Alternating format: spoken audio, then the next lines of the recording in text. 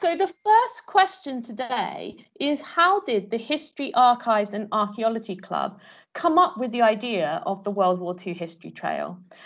If I cast my mind back, this began last September when the society was formed and we began searching the Hampton archives. And one of the first articles that the new archivist, Ms. Esmond, gave us was um, the newspaper where the school was opened in September 1939. I remember seeing that article and remember seeing the photo of the new school, brand new in 1939.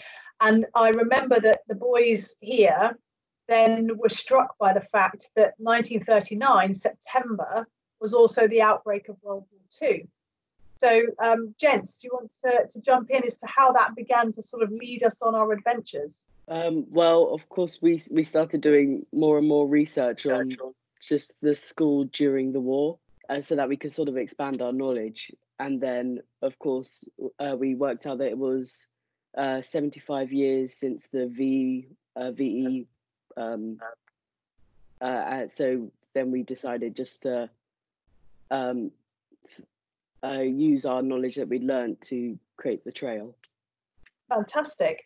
And um, gents, do you remember what other information we looked at to begin to find out what was happening to the school during the war?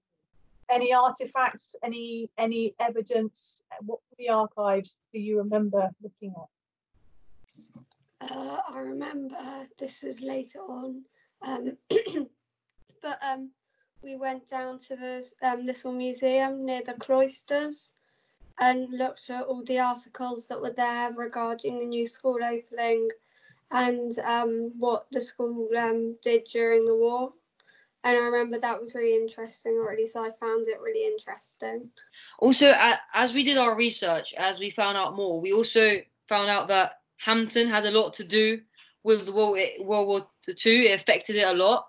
And we, we learned about new sites like, I don't know, for example, the tennis courts is actually a trench. That was really interesting, and that kind of built up and built up the interest, and that's why we got into it and did more research about it.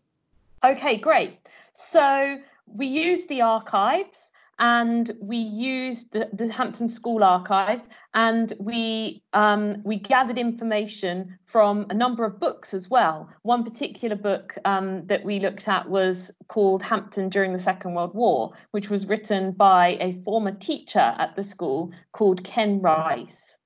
Um, we'll move on to another question now. Um, and that is um, what is your what was your favorite site that we um, have investigated? There were nine in total. Which one is your favorite site um, that we have found out about? My favorite site in the trail uh, is the area of the pig club. It's my it's my favorite because like this fun club represented the resilience of not only hampton but also england during uh, World War II.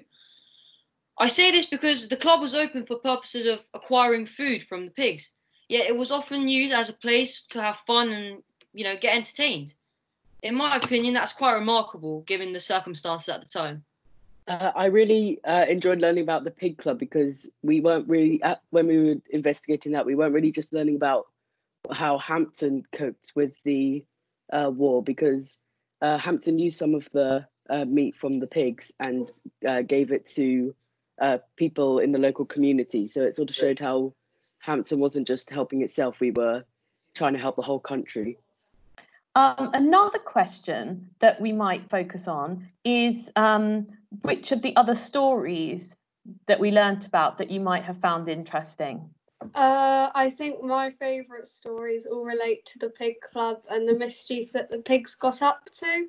Uh, my favourite is possibly um, the one where um, one night one of the um, students who was in charge of closing up the pig club hadn't closed the gate properly.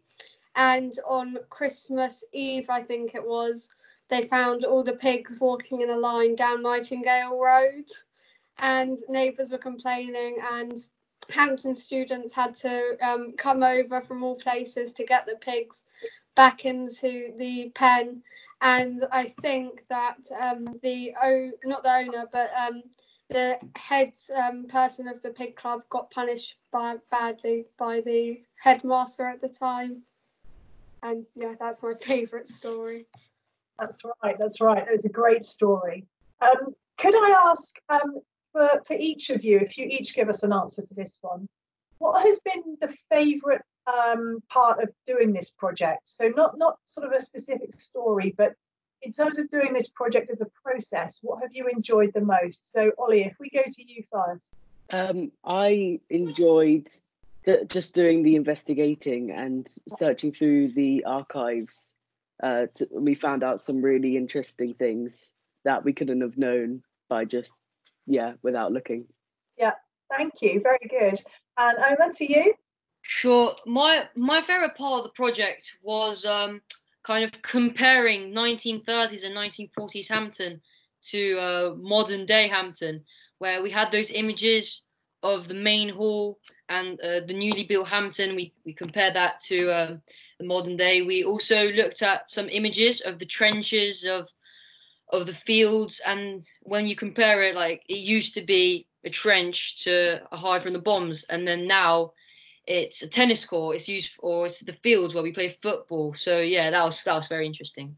Uh, I think my favourite part of the project was um, compiling information for the slides on the trail. And it was really interesting to see how Hampton played its part during the war and how influential it was to other schools across the area as well. Um, and it was interesting to see how uh, today's Hampton ethos still shone through um, 75 years ago during the war. And I think that was my favourite part of the whole project.